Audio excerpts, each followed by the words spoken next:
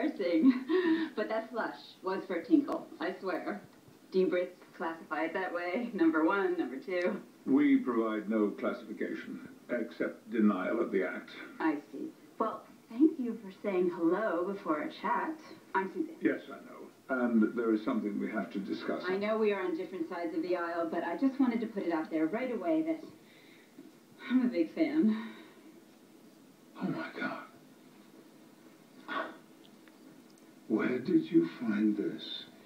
A bookseller in London. There were only a thousand copies printed in 1984. I know. They're very rare. I loved it. Thank you.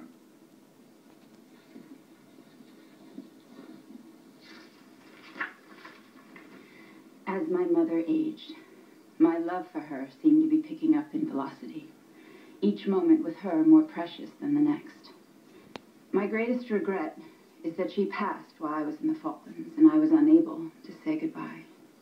Unable to tell her one more time that I loved her. Will you sign it for me?